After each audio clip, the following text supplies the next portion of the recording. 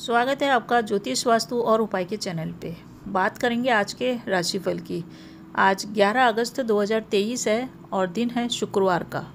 तो सिंह राशि और मीन राशि, दोनों के लिए आज का दिन कैसा रहेगा? सावन मास चल रहा है और ये कृष्ण पक्ष है और एकादशी तिथि है जो वृद्धि तिथि है और एकादशी तिथि का व्रत 12 अगस्त को किया जाएगा। चंद्रमा चल रहे हैं वृषभ राशि में पाँच बजे तक, उसके बाद ये चले जाएँगे मिथुन राशि में। आज पूरे दिन चंद्रमा चलेंगे मृगशिरा नक्षत्र में, जो कि मंगल का नक्षत्र है। तो मंगल के नक्षत्र में चलते हुए चंद्रमा सिंह राशि वालों को क्या दे रहे हैं? तो सिंह राशि वालों के लिए दिन आज एवरेज है। भागदौड़ अधिक रहेगी। अधिक भागदौड़ के कारण थकान रह सकती है। थकान भी रहेगी और साथ ही साथ काम का दबाव भी रहेगा। और मानसिक थकान भी आपको आज ज़्यादा महसूस होएगी। यात्रा आपकी हो सकती है और कुल मिला के देखें तो इतनी ज़्यादा आपको भागदौड़ और परेशानी रहेगी कि आपको सब तरफ़ से मान सम्मान सब कुछ बना हुआ रहेगा, पर आपको इतना ज़्यादा संतुष्टि का भाव नहीं आ पाएगा। तो जो भी यात्रा आप कर रहे हैं, उसमें समझ के करें, संतोष करके करें और व्हीकल को बहुत ही सावधानी के साथ चलाएँ। दसवें घर में चल रहे हैं चंद्रमा। दसवां घर होता है हमारे कैरियर का, हमारे आय प्राप्ति करने के एफर्ट्स का और हमारे रोज़गार का। नौकरी का भी यही घर होता है। तो यहाँ पे मंगल के नक्षत्र में चल रहे हैं चंद्रमा और मंगल बैठे हैं आपके लग्न में, आपके शरीर में। तो क्रोध की आपके अंदर अधिकता रह सकती है क्योंकि मंगल ऊर्जा का कारक है तो आज आप में ऊर्जा बहुत ज़्यादा रहेगी। तो अपनी ऊर्जा को आज सही दिशा में लगाने का प्रयास करें, क्योंकि जब ज़्यादा ऊर्जा होती है तो वो इधर उधर बिखर जाती है या फिर वो गलत डायरेक्शन में चली जाती है। तो आज आप में ऊर्जा इतनी ज़्यादा रहेगी कि आप कोई भी कार्य ऐसा नहीं जो सब कर नहीं सकते। कैरियर के क्षेत्र में आप जो भी प्रयास करेंगे, सफल होंगे तो अपनी ऊर्जा को सही तरीके से लगाने के लिए प्लानिंग बना के चलें। क्योंकि आप एक साथ कई काम करने की सोचेंगे एनर्जी बहुत ज़्यादा है, उत्साह बहुत अधिक है इस कारण से। और मंगल के नक्षत्र में चल रहे हैं, चंद्रमा जो जल्दबाजी भी थोड़ी सी देते हैं। तो क्रोध से बचें, अपने वाणी पे और अपने शब्दों पे आज आपको बहुत अधिक ध्यान देना है। पिता का घर भी यही होता है तो पिता का स्वास्थ्य आज नरम रह सकता है या फिर पिता से आपके मतभेद हो सकते हैं। आज सिंह राशि वालों का खर्चा भी अधिक होएगा, साथ ही साथ आय के प्राप्ति के भी अवसर खूब मिलेंगे। कारोबार की दृष्टि से बिज़नेस और व्यापार की दृष्टि से आज का दिन बहुत बढ़िया है। अगर आप इन्वेस्टमेंट करते हैं तो इन्वेस्टमेंट के लिए भी बहुत अच्छा दिन है आज। आज कोई भी कार्य करना है, बड़ी डील करना है बिज़नेस के अंदर तो राहु काल का ध्यान रखें।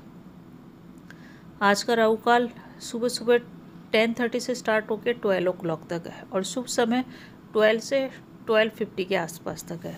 तो भाग्य आपका प्रबल है। आप व्यापार के क्षेत्र में कुछ भी नया डिसीज़न या कुछ बड़ा डिसीज़न लेना चाहते हैं तो आप ले सकते हैं। सिंह राशि वालों की बुद्धि आज बहुत ही तेज़ रहेगी और सब कुछ उनके चीज़ों पे आप अच्छी तरह से फोकस कर पाएँगे। हर काम आप विवेक से करें, क्रोध को त्याग के, जल्दबाजी को त्याग के। बहुत बढ़िया दिन है। इसका आप लाभ उठाएँ।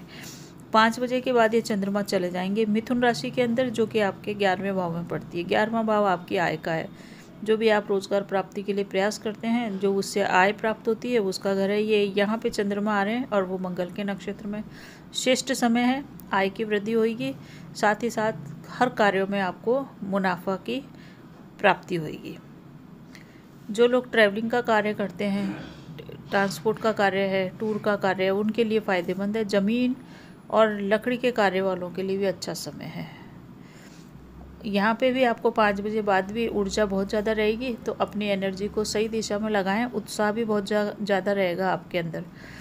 जो भी आप डिसीज़न लें, उसको आप अपने प्रियजन या किसी एक्सपर्ट की सलाह से लें, क्योंकि आज आप अधिक उसके अंदर उत्साह के अंदर हो सकता है आपसे गलत डिसीज़न हो जाए। तो किसी न किसी की सलाह अवश्य लें, या तो घर वालों की सलाह से काम करें, या किसी एक्सपर्ट की सलाह लें। क्योंकि आज आप चीज़ों को एनालाइज कर पाएँ ढंग से, इसमें थोड़ी सी शंका है। बुद्धि तो तेज़ है, परंतु एनालाइज एनालाइज करने एनालिटिक टाइप से काम करने में आपको थोड़ी सी परेशानी आज हो सकती है। लव लाइफ की दृष्टि से देखें तो चीज़ों को क्लियर करने की ज़रूरत है जीवन साथी को समझने की ज़रूरत है। लाइफ पार्टनर जो भी आपका लव पार्टनर है, उसको समझने की ज़रूरत है। वैवाहिक जीवन में तनाव है थोड़ा सा और एक बजे से लेकर पाँच बजे के बीच में भी तनाव रह सकता है। तो वैवाहिक जीवन के अंदर पार्टनर को समझें, पार्टनर को टाइम दें, क्लियर करें चीज़ें। साथ ही साथ फैमिली को टाइम भी देने से आपका वैवाहिक जीवन सुख में बनेगा। उपाय क्या करें? मंगल के नक्षत्र में चल रहे हैं चंद्रमा। भगवान सूर्य की आराधना करने के बाद हनुमान चालीसा का एक पाठ अवश्य करें और साथ ही साथ माँ लक्ष्मी की आराधना आज करें। इस, इन उपायों को करने से आपके जीवन में शुभता बनेगी। चैनल पे पहली बार आए तो कमेंट में जय श्री राम लिखें और चैनल बढ़िया लगे आपको तो सब्सक्राइब कीजिए। धन्यवाद। अब बात करते हैं मीन राशि की। मीन राशि वालों के लिए चंद्रमा चल रहे हैं। तीसरे भाव में जो इनके पराक्रम का है, एफर्ट का है, छोटे भाई बहनों का है, उसके बाद चले जाएँगे पाँच बजे बाद ये चौथे घर के अंदर। तो पाँच बजे के बाद आप यात्रा न करें। पाँच बजे के बाद घर कुटुंब का परिवार से आपकी बनेगी नहीं दाम्पत्य जीवन में थोड़े से तनाव रह सकते हैं। तो दिन आपका थोड़ा सा नकारात्मक है। आपको शांति से काम करना, धैर्य से काम करना, साथ ही आपको आज आलस और आराम को त्याग के एक्टिव बनना है। इसी से आपके कार्य बनेंगे। चार बज के अट्ठावन मिनट से पहले पहले अगर यात्रा करते हैं तो ठीक है, बाकी बाद में आपके लिए सही नहीं है। कुटुंब परिवार से आपको थोड़ी सी निराशा रह सकती है। मंगल के नक्षत्र में चलते हुए चंद्रमा, तीसरे घर के अंदर आपको पराक्रमी तो बनाएँगे, उत्साही तो बनाएँगे, शत्रु आपके जागृत रहेंगे, परंतु परंतु आपको शत्रुओं से डरने की बिल्कुल भी ज़रूरत नहीं है। शत्रु आपका कुछ भी नहीं बिगाड़ पाएँगे। शेयर सट्टे में इन्वेस्टमेंट करने के लिए दिन बिल्कुल भी सही नहीं है, उसमें अपना पैसा अगर आप लगाते हैं तो आपको हानि होगी विदेश जाने का प्रोग्राम है, विदेश यात्रा करनी है, उसके लिए सही है दिन। साथ ही साथ संतान से आपको लाभ की प्राप्ति होगी संतान की प्रोग्रेस होगी संतान यात्रा कर सकती है और संतान के माध्यम से आपको खुशी प्राप्त होगी जो लोग दवा के व्यापारी हैं, उनके लिए आज का टाइम सही नहीं है। परंतु जो लोग गूढ़ विद्याओं को पढ़ते हैं, रहस्यमय विद्याओं को जानना चाहते हैं या किसी भी तंत्र मंत्र साधना में लग रहे हैं, उनके लिए आज का दिन सही है। कुल मिला के मीन राशि वालों के लिए देखें तो सेहत पे ध्यान देना ज़रूरी है, वाणी पे सेम रखना बहुत ज़्यादा ज़रूरी है और अपनी एनर्जी को सही दिशा में लगाएँ। आज आप कई तरह की प्रॉब्लम भी सॉल्व कर लेंगे और आपके पास धन का आगमन भी हो जाएगा, परंतु दिन फिर भी थोड़ा सा नकारात्मकता लिए हुए है, क्योंकि कुटुंब परिवार में आपकी थोड़ी सी शांति नहीं रहेगी, वहाँ आपको प्रॉब्लम हो सकती है। जो लोग रोज़गार प्राप्ति के लिए प्रयास रहते हैं, उनके लिए आज का दिन बहुत ही बढ़िया है। उनके एफर्ट आज काम आएँगे और उनको रोज़गार मिल सकता है, क्योंकि तीसरे घर का चंद्रमा जो पराक्रम का है, आपको अवश्य ही आपके पराक्रमों में लाभ देगा। जो भी पेंटिंग कार्य हैं, उनको करने के लिए आज का दिन बहुत बढ़िया है। जितने भी लंबित कार्य, पेंटिंग कार्य हैं, उनको आज आप करिए, सूची बनाइए। सभी कार्य एक एक करके आप संपन्न करते हुए चले जाएँगे। पाँच बजे के बाद माता के स्वास्थ्य में परेशानी हो सकती है, वो उसका आपको ध्यान रखना है। बुद्धि मीन राशि वालों की आज बहुत तेज़ रहेगी, परंतु बुद्धि को सही दिशा में लगाएँ, सही डिसीज़न लें। दिन आपके लिए अच्छा है, कैरियर के हिसाब से। कैरियर के हिसाब से दिन बहुत अच्छा है, पेंडिंग कार्य करने के लिए अच्छा है। बस आस पड़ोस वालों से आप बिल्कुल भी झंझट न करें।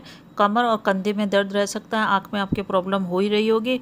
बाकी दिन आपके लिए ठीक ही है। लव लाइफ के हिसाब से देखें तो कुछ भी आप नया करने का प्रयास न करें। वैवाहिक जीवन में कम्युनि कम्युनिकेशन को सुधारें। साथ ही साथ आप अगर अपने वाणी पे संयम रखते हैं तो बहुत सारी प्रॉब्लम्स को आप सॉल्व सही कर लेंगे। विद्यार्थियों के लिए ठीक है। बाकी अगर उपाय करना चाहें तो उपाय यही है कि आज मंगल के नक्षत्र में चल रहे हैं चंद्रमा तो काफ़ी ऊर्जावान रहने के लिए, ऊर्जा को सही जगह प्रयोग करने के लिए, अपने आलस्य को त्यागने के लिए हनुमान चालीसा का पाठ करें और लक्ष्मी चालीसा का आप पाठ करें। दिन आपके लिए शुभ हो। चैनल अच्छा लगे तो सब्सक्राइब कीजिए प्लीज़ धन्यवाद।